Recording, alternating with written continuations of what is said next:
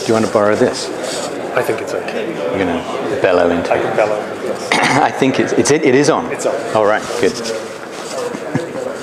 Okay, well, good afternoon, everyone.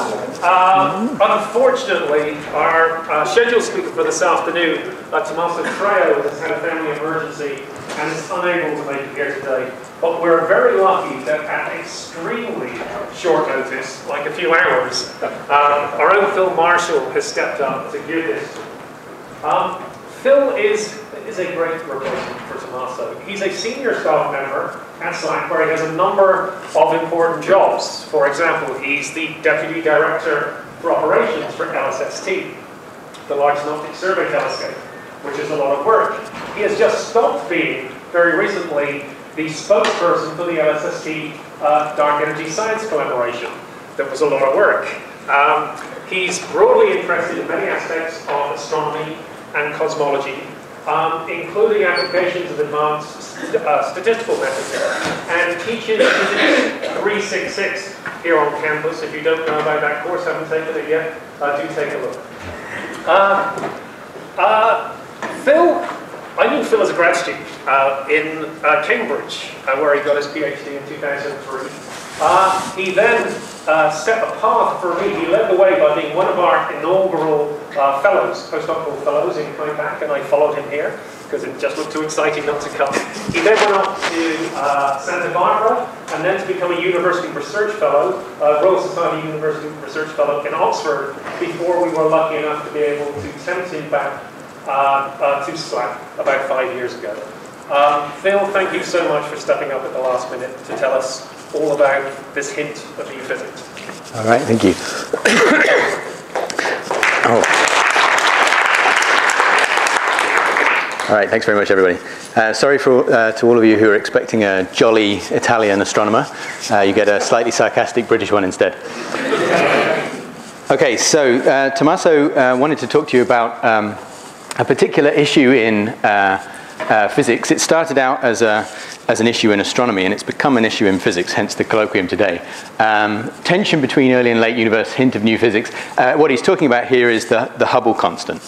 Um, so you may have heard about this uh, on the grapevine. This is uh, uh, something uh, going on in cosmology that has risen to the level where all of us as physicists, I think, should be paying attention to this. Um, so tension is a good word. Should make you think of uh, elastic strings that have been stretched. There's quite a lot of elastic potential energy stored there. we might expect some of that potential energy to be emitted in the form of um, papers written by theoretical physicists. Um, and so partly this talk is to uh, get some of you uh, theorists uh, excited about some possibilities, but also to show you uh, some of the things that you need to be aware of in terms of the measurements that the astronomers are making. So that's the, the idea behind this talk, I think. So what are we going to do? Uh, first, we'll take a look at um, what this tension is in the Hubble constant measurements and uh, what meaning it has for, for cosmology. Uh, there's a number of different ways to measure the Hubble constant. Um, and in particular, you can try and um, uh, make measurements in the early universe and make predictions about the Hubble constant in the, uh, the late time universe, the one we live in. But you can also try and measure the Hubble constant in the local universe itself, and it's between those two regimes that the tension lies. So we'll take a look at, uh, at some of the measurements involved. Um, the, uh, uh, not the bulk of this talk, but certainly a significant amount of this talk, I want to tell you a bit about um, the way that uh, we measure the Hubble constant here at KIPAC, at Stanford, um, using uh, strong gravitational lenses. Uh, this is work that I've been doing with Tommaso for, uh, for many years now. And in fact, uh, even before that, I was doing it with Roger Blandford when I first got here uh, to Stanford. So this is a, a long-running research interest of mine. And it's interesting because it's, um, uh, it's quite different in character to, to the other methods that I'll show you, as, as you'll see. Okay, and then towards the end, we'll look at what we're going to do about this, this tension, uh, what can we do on the measurement side, and um, the, some of the exciting things that um, the theorists uh, should be thinking about. Okay, so the Hubble constant. You've probably seen this plot before from the 1920s. Uh, this is um, measurements of the recession, the apparent recession velocity of galaxies against the distance of those galaxies from us. Uh, it was hard to make this plot. The difficult bit, the most difficult bit, uh, was measuring the distance to the galaxies. Uh, here, they're uh, a little bit off. Um, from the actual distances that we now understand. But here, uh, Edwin Hubble could already see uh, the trend, which is that galaxies that are further away from us seem to be moving away from us at higher speeds. And so this is what you expect in a uniformly expanding universe. If you think uh, about a fruitcake uh, or plum pudding rising in an oven, uh, the little raisins in the dough are all getting further away from each other, and the ones on the edge are expanding away from each other faster than the ones in the middle.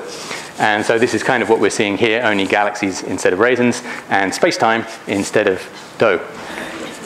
Okay, so this is uh, uh, the Hubble constant. Uh, why is it interesting? It basically quantifies the current rate of expansion of the universe.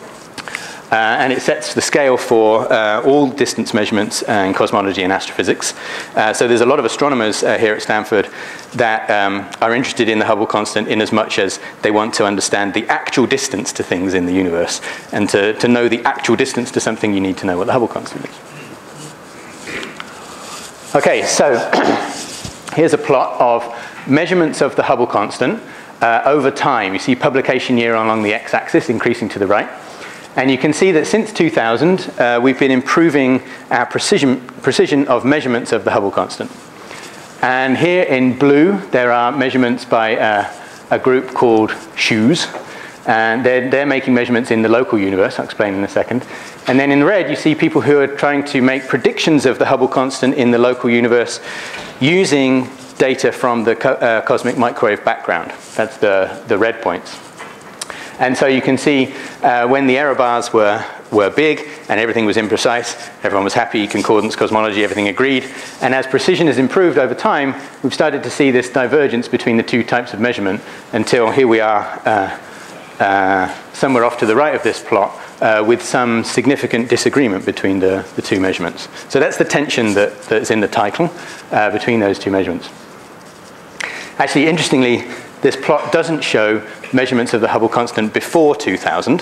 Um, what that would have looked like, uh, if we ignore the 1920s when uh, we were off by an order of magnitude, for a long time there was disagreement between whether the Hubble constant was 50 in its units uh, or 100. And the same thing happened. There was divergence between uh, the people who were me making measurements saying it was 50, people making measurements saying it was 100. And those measurements became significantly different. There was tension in the past as well. So keep that in mind when listening to and thinking about um, new physics. The resolution of that previous tension was to improve the measurements and reduce systematic errors. Okay, so now here we are uh, right now as of this summer. Here's a plot that was made at a workshop in July down at um, uh, our sister institute in Santa Barbara, uh, KITP. And it has a number of new things on it, including measurements not only from the SH0ES group, but other groups working uh, with similar types of uh, measurements in the local universe. And um, compared with uh, measurements of the Hubble constant or predictions of the Hubble constant coming from, uh, from the early universe. And so uh, the, dos, the, dashed line at the top here makes some uh, rough distinction between uh, predictions of the Hubble constant that depend on our understanding and measurements of the universe at redshift of 1,000. That is the era of recombination when the, uh, the CMB radiation was uh, emitted. And these measurements at redshift 0 to 1 that we're calling the, the late time universe.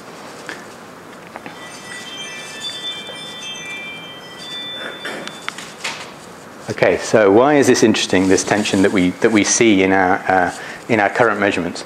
Well, mainly it's interesting because uh, if these measurements are, are right, they're suggesting that lambda CDM, uh, our sort of standard model for cosmology that we've been all working with for the last um, 10 years or more, is not a sufficient description of the universe. So there's been solutions been, uh, been proposed for resolving this tension, uh, but nothing has emerged that clearly explains the, the tension without breaking other constraints. Uh, this is interesting.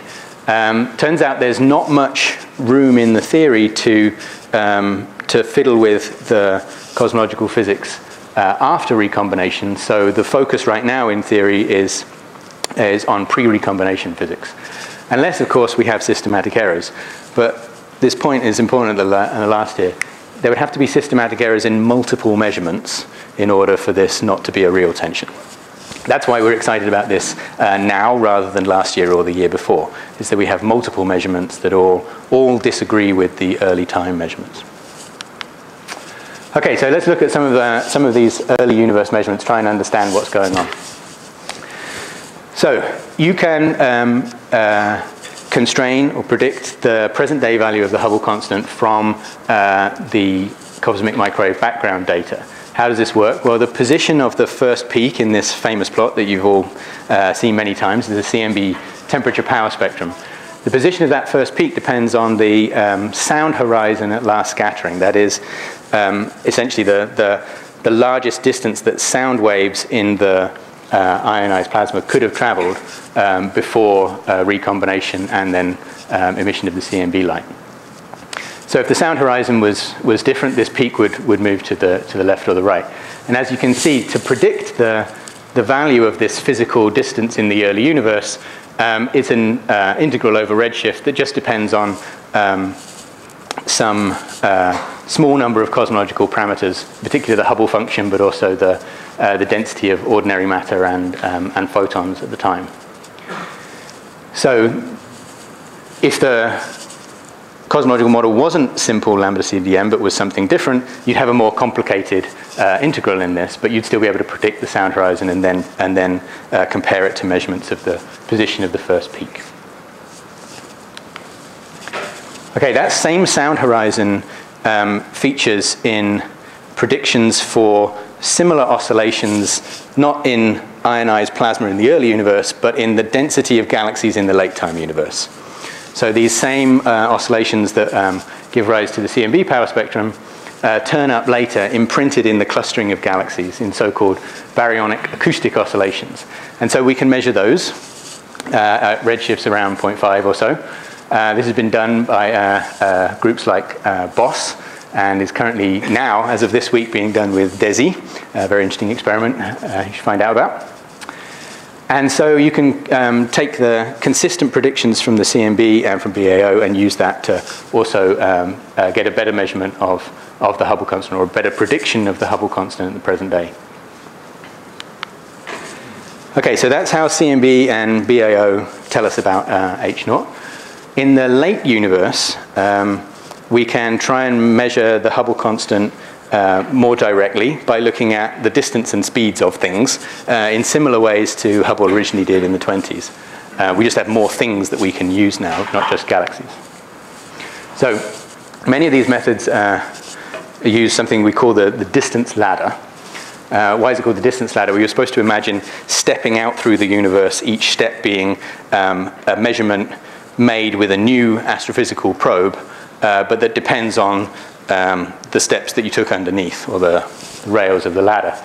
So, in order to get out into the so called Hubble flow, where we really are seeing the expansion of the universe, you have to use these things called uh, type 1a supernovae, uh, whose relationship between luminosity and um, uh, distance we think we understand. Um, to get out to there, we need to study galaxies that contain both supernovae and something else that we can link down to the local universe. So what do we uh, use there? We use, um, for example, Cepheid stars, whose luminosity and period are correlated. And so we can use the fact that they're correlated to, to tell us something about the, the relative distance of that, uh, of that galaxy. And then the closest rung to us, the one that actually matters most, um, is the uh, um, stars or Cepheid stars in the Large Magellanic Cloud for which we have parallax measurements. So we start with an absolute distance from um, astronomical parallax and then use that to calibrate the relationship between period and luminosity in Cepheids, and then go looking for Cepheids in external galaxies, and then find those galaxies that contain supernovae, and then find more galaxies even further away that contain supernovae, and build up this uh, distance ladder where we think we know uh, the distance to these distant galaxies. Okay, so here's words that uh, repeat all of that. Um, the, the bit about using Cepheids, turns out we can use other stars. We don't just need Cepheids. Cepheids are very good. But there are other stars we can use as well. We can use stars that lie at the tip of the red giant branch. We can use those as distance indicators. We can also use um, uh, Mira variable stars uh, in a similar way as well. Um, until recently, the measurements with these other types of stars hadn't been very good. That changed this summer, hence the excitement about the tension. Okay, so here's some more plots uh, showing you that the tension is there. This is a plot made by the group that are working mainly on Hubble Space Telescope observations of Cepheids in other galaxies and building up um, steps along the distance ladder this way. And so this is a group called uh, SH0ES, led by um, Adam Riess. And here's a plot showing that they, uh, you see the, the red point here that says here, uh, that's the, the work, the latest work from the SH0ES collaboration. And you're supposed to admire the tension between that point, which disagrees with the CMB and BAO points on the left-hand side. Actually, one interesting thing about this plot, you see the, the red points, uh, there's a whole bunch of them, they all seem to agree with each other. Some of that is because um, there's a big overlap between the data that went into those points. So you have to be a bit careful when, when reading these papers, looking at these, these plots, to look for which data sets are actually independent of each other, statistically independent. So you can see there's, uh, there's a point on here, R16, that's labeled SH0ES. Some of the system, some of the Cepheids that are in that paper also appear in the more recent one. Okay, so the same SH0ES collaboration started looking at Mira variables and uh, put out their first measurement uh, this time. And you can see here in purple, uh, measurements of the Hubble constant using a distance ladder that that's made of Mira variables gives uh, pretty much the same answer as a, a, distance ladder that was made using Cepheid variables. Those are the blue points at the top. So, are these uh, independent data sets? Uh, not quite. I mean, one, there's a couple of ways that they're correlated. Uh, some, uh, well, they all use the same bottom rung of the ladder. They also use uh, some overlap in galaxies that contain both Miras and Cepheids. And then there's a third way in which they're correlated, which is that the, it was the same team doing the analysis. So another thing to watch out for is who's doing the work, and are they taking steps to make sure that the results that they put out are, um, are accurate. And so just to note that the Myra, the Mira study here was done by the SH0ES team. Okay, here's a different group of people led by Wendy Freedman down in um, Pasadena using uh, tip of the red giant branch uh, stars. Uh, they're the ones in red here and overlaid on um, a version of the plot I showed before, which has the, um, the CMB measurements now in black and the Cepheid measurements now in blue, again as a function of year of publication. And you can see here the um, tip of the red giant branch measurements started out safely in the middle and have sort of stayed in the middle while getting more and more precise, which is uh, an interesting trajectory.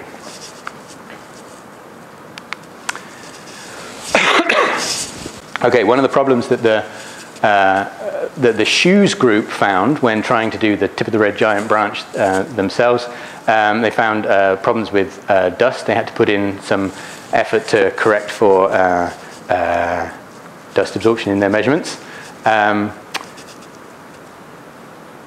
I only flag this up just as an example of one of many systematic errors that, uh, that affect all of these measurements.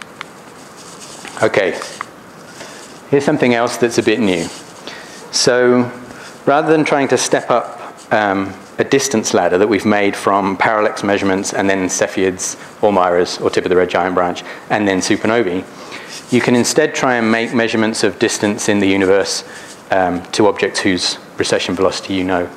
Uh, you can try and do that with um, systems that have physical models, where if you know, use that physical model to tell you what the physical size of it is, or the physical luminosity of it is, you can then use its apparent size or apparent brightness uh, to tell you how far away it is.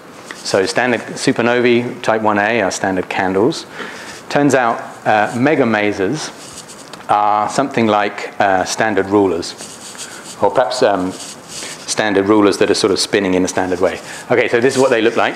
Uh, megamaser is uh, um, bright clumps of molecular gas in orbit around the center of their galaxy.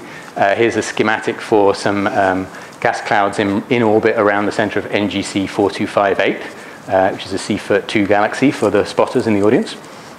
Um, what we're looking at here is uh, molecular uh, emission coherent molecular emission from, from gas in orbit around this, uh, the center of this galaxy. And so if you uh, look at these little triangles representing clumps of gas in orbit around the center in this picture on the left, uh, you can imagine that um, if you have a model for how those gas clouds orbit the, uh, the central mass, you can perhaps, if you have enough measurements of their apparent radial separation and their rotation speed, you can piece together a Keplerian model for the orbits of these things and get a handle on how big physically this thing is. And you can compare that with how big it appears to be on the sky.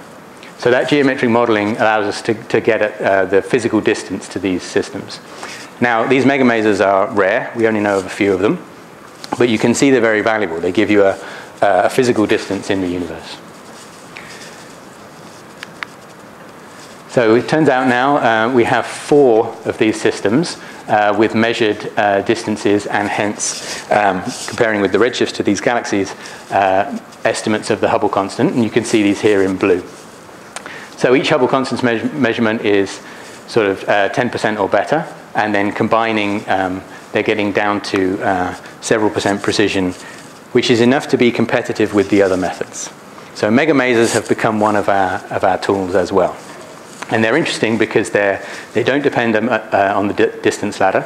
In fact, in fact, some distance ladders depend on the, these. But they're interesting because they're they give us physical distances.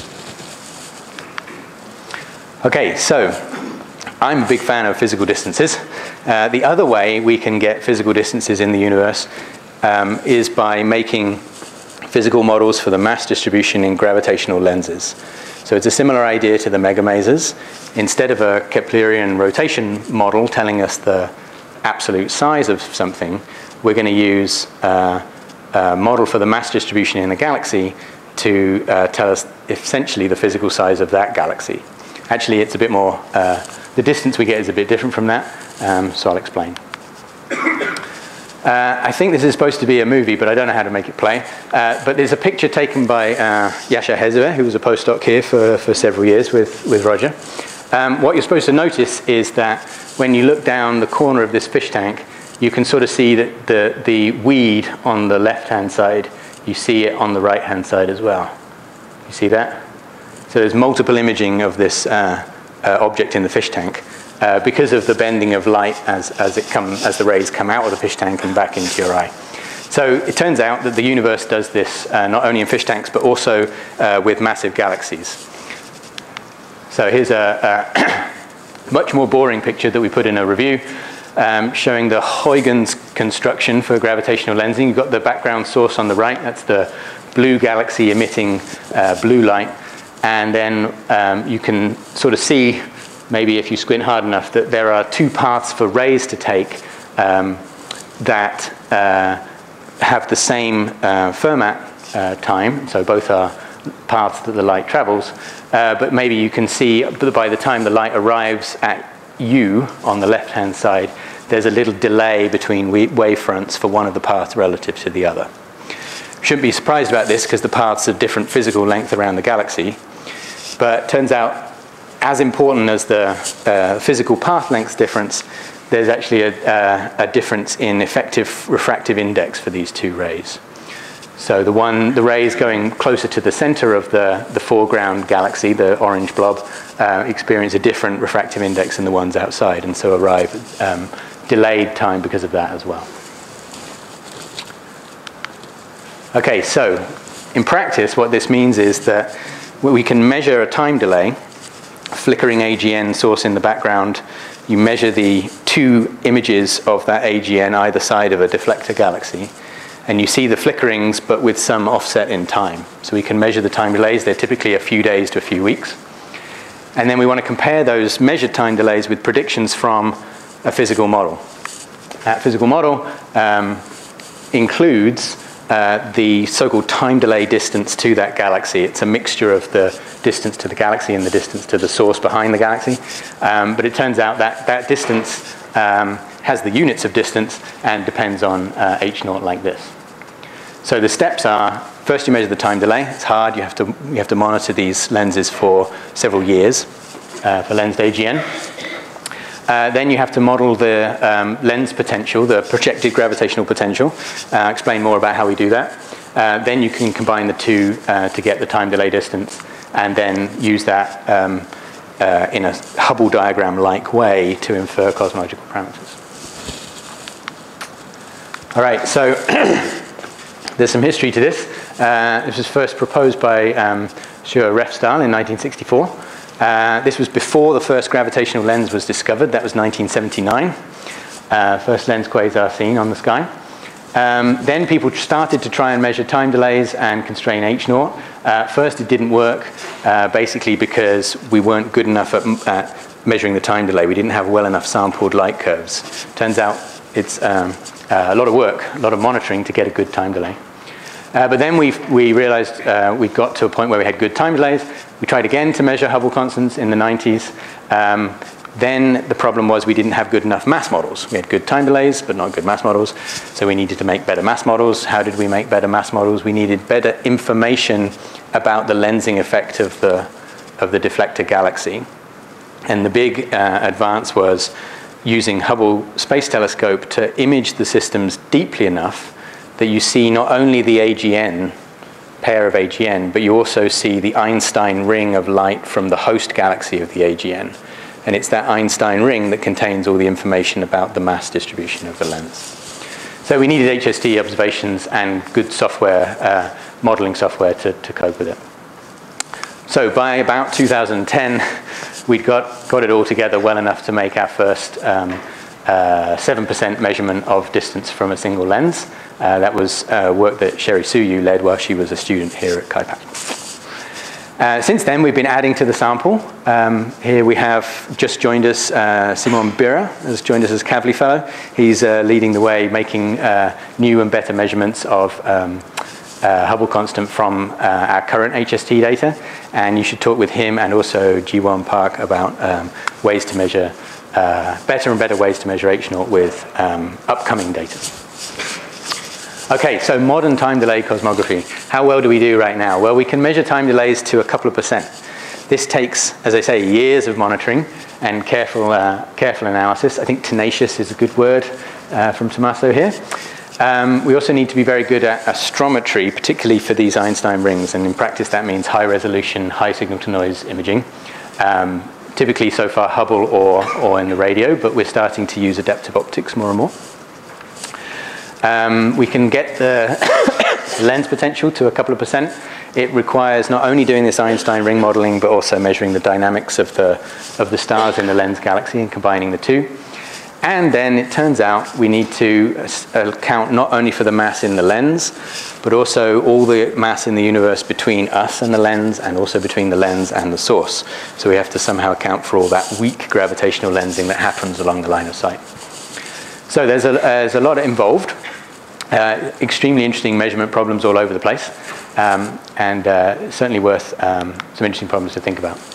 So uh, here's just some examples of the data we're working with. Here's um, monitoring data for uh, one of our lenses. Um, you can see here uh, seven seasons, I think, uh, collected by the Cosmograil team using a network of small telescopes to measure the changing optical brightness of the system.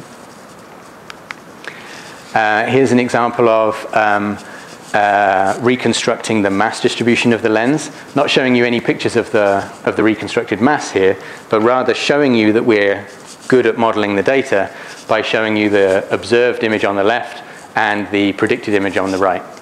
Or maybe it's the other way around, I forget. Uh, hard, to, hard to tell, isn't it?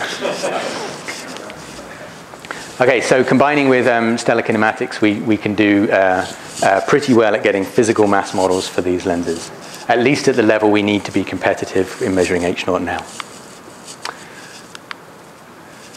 Okay, one thing that, that we do, um, so Simon and Tommaso and I are in a collaboration called um, H0LiCOW, which stands for uh, H naught from lenses in the Cosmograil Wellspring. Uh, one thing we do in the H0LiCOW group is uh, we try and do our analysis blind. Um, what does that mean? It means we're not allowed to look at our measurement of the Hubble constant until everyone in the team agrees that we've finished analyzing all the systematic errors properly. And so in practice, what that means is um, a lot of time spent analyzing the systematics and also multiple telecons where people are uh, unsure enough to say, yes, we can unblind yet. Uh, it also means that we have to agree to only use the same plotting software. We're only allowed to look at plots of h naught relative to some offset. Uh, we usually show deviations from zero rather than the actual value of h naught. And we're not allowed to look at the value that we get until everyone agrees. Why do we do this? The worry is that if we didn't do this, we might stop analyzing our systematic errors too soon. Why would we stop too soon? Well, if we thought we had the right answer, we might stop. What's the right answer? Well, the right answer might be the one that agrees with everyone else. So if we're particularly interested in tension between measurements, it's quite important to take these steps to stop yourself, uh, stop yourself from fooling yourselves about the answer. So when you're reading these papers, you should watch out for who's doing their analysis blind, who isn't. Uh, okay, here's another example. I don't think I've shown you a picture of a lens yet. Here's a, a very nice lens, uh, DES J0408. The DES stands for Dark Energy Survey. Lots of people at KIPAC involved in this um, uh, very exciting survey of the sky that's uh, just finished taking uh, imaging data, but we're still analyzing the results. So this is a, a system that was analyzed by uh, Simon Tommaso and their grad student Anwar down in, in UCLA. Uh, you can see they do an excellent job measuring the, uh, reconstructing the mass distribution. Um, how do you know that? You see where it says normalized residuals and they all look like noise? That's what you want them to look like. Okay, you don't need, we don't need to go through this plot, but what you're seeing here is different choices in how the model is set up um, to look for sensitivity in the results, the H0 measurements, to these different choices. And the thing you should take away is the, that the contours are overlapping with each other, which is to say the measurements of distance in this system are stable relative to uh, choices in your, uh, in your modeling. So all of these methods require uh, models to be made of the systems we're studying. And whenever you make a model, you have no choice but to make assumptions. The best you can do is test those assumptions uh, against each other. Okay, so here's where we were earlier in the year. This is um, six lenses in the H0LiCOW sample. Here they are on the left-hand side, and here are their um, posterior PDFs for H0 from each lens analyzed individually. So we make this plot to, to check that internally we, um, uh, we agree. Each one of these measurements, except for the red one, was made blind. The first one we ever did, we didn't blind ourselves. Everyone after that has been blind. And so we've, we've been on the lookout for have we been systematically agreeing with ourselves from our first analysis, and I don't think we have. We have a, um, the kind of scatter between measurements that you would expect given the width of the PDF. Okay, so what, is, what, does it mean? The H naught that we get from combining our um, six lenses together, uh, what does it mean in terms of cosmological model? So the, the black curves here, dashed and dotted, those are the um, uh, the constraints on cosmological parameters we get from the strong lenses on their own. The gray uh, bananas are what you get from the Planck CMB measurement. So the interesting thing here is that they, they don't overlap well, right? There is tension between uh, uh Planck CMB and the, the six uh, strong lenses. And the reason these, these um, let's see, this one is what I wanted to show you.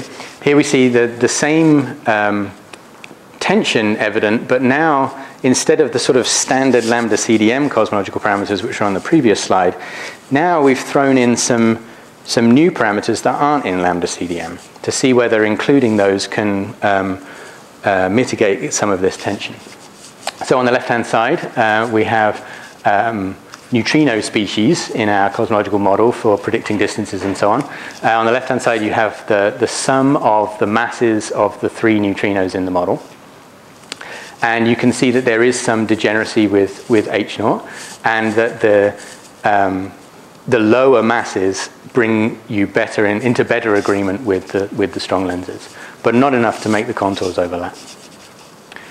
On the right-hand side, we have not only uh, neutrinos in the universe, uh, with um, unknown masses, but we also have an, an effective unknown number of species. So three plus something else, where something else is something new. Um, and so here you can see that uh, if you have the effective number of neutrino species be higher, that would allow um, that would bring the CMB and the strong lens measurements into better agreement. But you can still see in the top panel that it's not, um, it's not solving all of the tension. This is an example of the kind of thing that, um, the theoretical physicists are now looking at as possible solutions to this tension problem. Okay, let's see. Uh, yeah, uh, with the seventh lens, uh, it again agrees with the others, which is good. Okay, so bringing all, all that uh, together for the lenses, um, we, uh, we see something like almost six sigma worth of disagreement. What does this mean? Uh, the sigma here is the quadrature sum of the uncertainty on the CMB measurements and the uncertainty on the, from the seven lenses. And so this is um, uh, a pretty significant result. Certainly enough to make a particle physicist uh, sit up and pay attention. Okay, so now if we look back at one of the plots I showed you earlier in this talk, uh, more tension, uh, hopefully building in the room. Um, what you're seeing here is a, an interesting check. This, um, this slew of points underneath the dashed line um, are showing different combinations of these late universe probes. So the lenses, the Cepheids, the tip of the red giant branch stars, the Mira stars. And because we haven't yet got to the point where we can combine these rigorously taking into account the, um, the correlations between these measurements. Remember I said they weren't statistically independent? What we can do is, is do um, tests like um, uh, leave one out jackknife or something, where you, where you look at the combination of a subset of the measurements and check that that is still in tension with the CMB. And so that's what you're seeing here. There's a, a bunch of different um, jackknife separations of the, late, of the late time measurements. And we consistently see uh, tension with the, with the early universe measurements. Okay, so how do we solve this? I showed you some um, unconvincing plots that neutrinos were the answer. Uh, here are some other plots uh, that maybe give us some pointers as to what might solve the problem. So this plot showing the um, uh, H naught on the x-axis. On the y-axis is the uh, sound horizon, physical um, uh, sound horizon size in megaparsecs. This is uh, a recombination era quantity. And what you're supposed to see here is that for um, lambda CDM, the prediction is the, the black contours up there. But you can see the prediction from the late universe measurements, that is SH0ES and H0LiCOW. These are these, green, these gray blobs, which is to say that the late time universe measurements seem to prefer a smaller uh, sound horizon at recombination. Now, how to reconcile these two things? basically you'd need a, a, a cosmological model where something fairly exciting happened just before the era of recombina recombination, such that you could make predictions about the CMB power spectrum that agreed with the eventual uh, universe as it turns out at, at redshift um, 1 and below. And so possibilities for this are um, some new relativistic particle that affects the dynamics of the expansion just in this narrow window before recombination. Uh, another alternative are uh, models called early dark energy, which do something similar. Um, and so, uh, strangely, these seem to be uh, uh, near the top of the list of uh, plausible explanations if this is new physics. here's another, another sort of take on this. this is a nice plot from um, uh, quite an interesting paper by Knox and, and Millea at UC Davis, where they're trying to illustrate how the uh, early, late universe constraints on H naught, which is the orange band from SH0ES in this case, and the um, BAO and type 1a supernova results in the, in the green band, it's very hard to make them agree, both of them agree with um, the standard lambda CDM model and the Planck data. And so this paper, um, I put up the figure because it's, uh, it's interesting to think more about. But if you take one um, reading assignment away from this talk, if you're that interested in it that you want to find out more, I recommend this paper by Knox and Millea. They basically, they're, um, they're theoretical physicists, and they go through all the possible new physics explanations um, in some rigorous detail and assess which ones they think are plausible, which ones they're not which ones are not. And their conclusion is more or less uh, the, an increased expansion rate just before recombination is, the, is maybe the best thing to focus on. But it's a very nicely written paper. It's called The Hubble Hunter's Guide, which I think is a, a good thing to provide to uh, theorists before they start writing uh, lots of papers. Okay, so uh, what's next in this field? What are we going to do next? Well, while the theorists uh, do their thinking and come up with thing, ways to explain these, these measurements, clearly there's more stuff for us to do on the measurement side. I've tried to hint at this uh, already. Basically, what we need um, is uh, a set of methods here to compare against each other to give us cross checks that are each equally precise. So each one of these um, probes of the Hubble constant is going to need to uh, improve in precision to keep up with the rest. And while improving with precision, that means you have to control your systematic errors to, uh, uh, to the right level in order to realize that precision. So, for example, uh, Gaia will improve the parallax for the local distance ladder. That will help um, with both uh, precision and accuracy. Uh, I like the way here Tommaso says time will provide more supernovae. Uh, I guess from his point of view, they just, they just appear. Um, but in all of them, systematic errors need to be tested, including here um, by data challenges. Um, we're fans in this sort of lensing community um, of doing data challenges. Why is that? Basically, it's because we're interested uh, in what other groups make of the same data that we've been analyzed, we've been analyzing, uh, to try and make sure that the assumptions we've been making um, aren't uh, driving the result. We'd like to see other groups be able to, to get uh, similar results. Um, I think that's the main reason why. Okay, so for time delays in particular, how are we going to get to um, 1% precision in order to keep, keep up with everyone else? Um, three things. Basically, we need to keep working on the systematics um, in new and inventive ways. Uh, it's good to get better precision per system and then um, the last refuge of the scoundrel is to just get more systems and combine them together. So Tommaso says 30 to 40 needed here. As you'll see in a minute, there's, there's potential to do uh, many, many more than that. Okay, so um, I mentioned data challenges as a way of, uh, of uh, checking for systematics.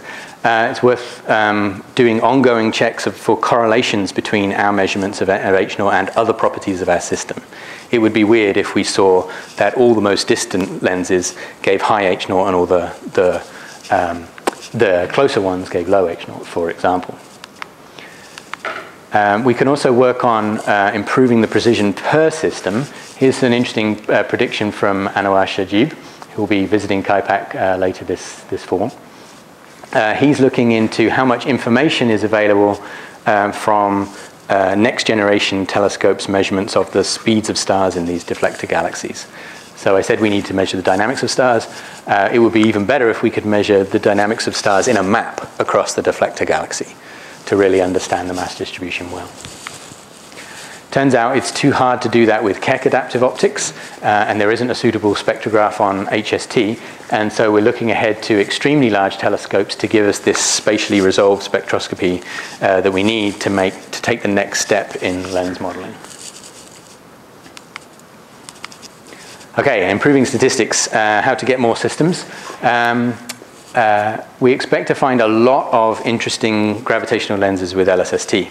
Uh, in fact, it's why I'm here uh, working on LSST. It's how I got interested in it in the first place. Um, here's some, uh, um, a gallery of lensed quasars found in um, the Dark Energy Survey, which is not so different from LSST, um, except LSST will be four times the area, uh, significantly deeper, and give us um, time domain information, so the monitoring we need for time delays, as well as the, uh, the kinds of images that you see here. So there's potential with LSST to find um, thousands of lenses.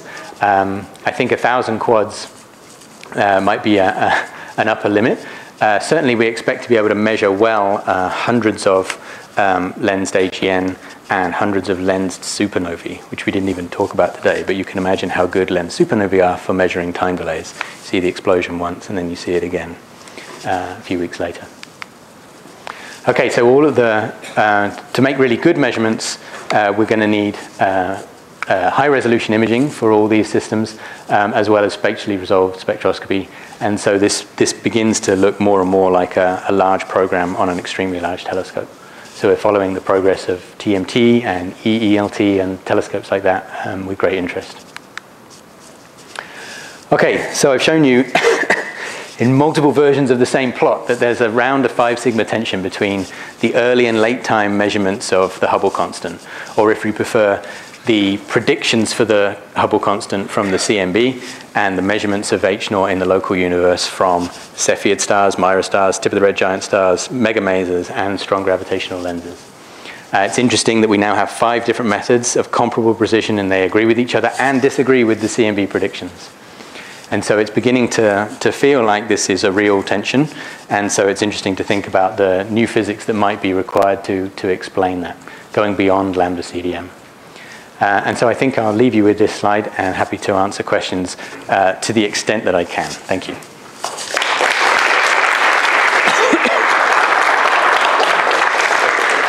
Thank you, Phil. Uh, time for questions. Phil, as you probably know, two weeks ago, a paper came out uh, in which Gaia uh, looked at wide binary companions of Cepheids in our galaxy and uh, deduced a Hubble constant in agreement with the early universe numbers 68 to 69. Mm-hmm. The paper was later withdrawn, but the abstract still exists. uh, what's your opinion I think I think if that result, ho- result holds up, then it pushes us much more towards thinking about systematic errors in, in any of, or probably most of, these probes. And so the theorists listening should be watching out for that kind of thing and kind of holding, holding off beginning to write stuff. because if, that, if it is true that there are late time measurements that um, agree with the CMB, don't agree with the thing, and they have been done blind and they are robust, and et cetera, et cetera, then that suggests that our problem is systematic errors in the measurement, not in new physics. Yeah.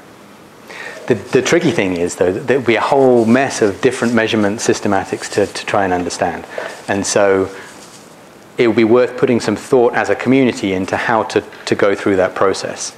Because the risk is that people will see that um, result and then think, oh, we're back to lambda CDM, and then there'll be a potentially a tendency back towards convergence on. And so then we're back in the you know so we have to we have to be a bit careful. We have to not give up the um, the results we have so far in the, that were done very carefully. If we're going to be going back and reassessing the systematics in each one we have to do it quite carefully. And i would say blindness is as important in that scenario as it is when you're looking for new physics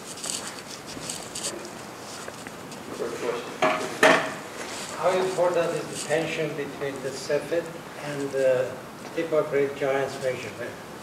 That, that, that, lies right in the middle, yeah. And new physics will not help it. Yeah, so it's kind of in the same category as, as, as, as the example Bob gave. Whereas Bob's was more local universe measurement, definitely agrees with CMB measurement. Tip of the red giant branch from Freedman et al. is, is more in the middle. And it's interesting that the SH0ES group, when they tried to use the same probe, found something uh, Hubble constant that's higher. So, the worry is, or one worry you might have with a measurement that lies right in the middle, is does the team have an unconscious tendency towards diplomacy? Like, and so, and, and I mean, it's again, it's another case where you, where you want to be blind and worrying hard about the systematics because it could well be that you're your um, unconscious bias is towards stopping analyzing the systematics early when you think you have the right answer. So that's certainly the thing that first came to my mind when I saw that, that, that result right in the middle.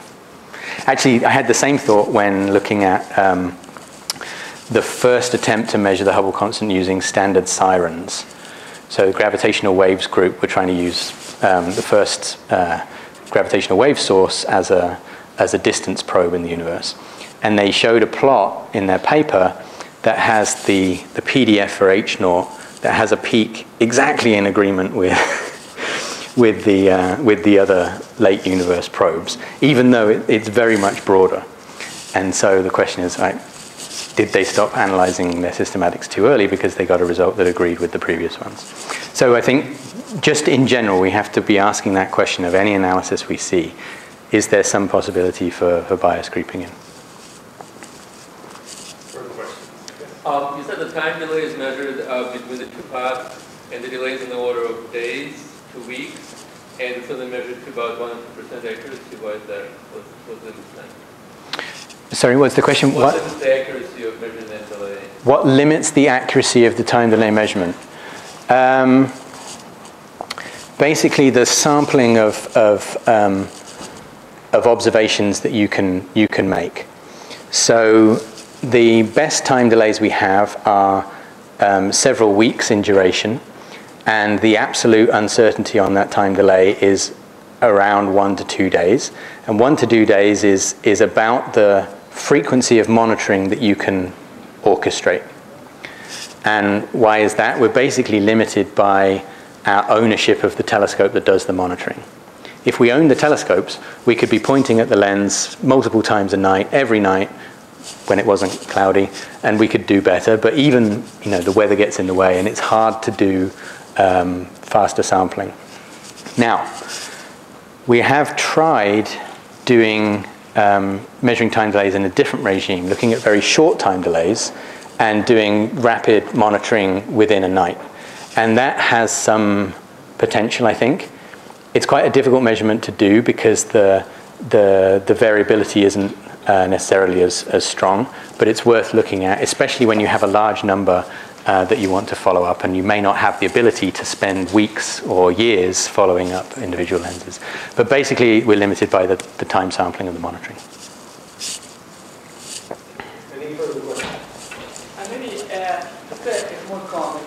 Is, uh, this distinction between early universe uh, and uh, late universe is more like uh, the physics that enters than the data. Because now there has been a, a measurement uh, actually done here of both uh, the AO data without any CMB, and they get the same apple than uh, CMB. So this means that, the, of course, these measurements assume that the universe evolved in under CM, but the data are local. They're not. Uh, so the local data, at least of that, seems to want from the, uh, the CMB. Yeah, I think the, I think the reason the BAO measurements get, get, are getting lumped together with the CMB measurements here and, and labeled early universe is because of this dependence on the sound horizon. That to interpret the measurements and, and hence infer cosmological parameters, you have to go through the sound horizon.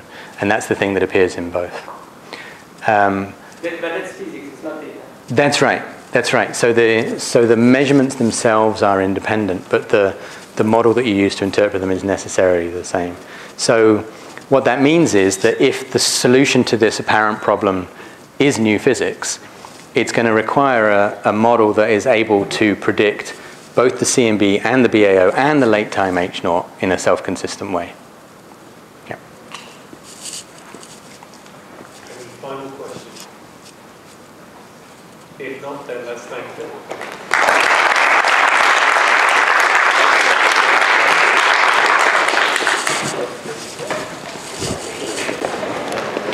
There we go. Thank you very I hope that was okay. It was perfect. It was very, very good.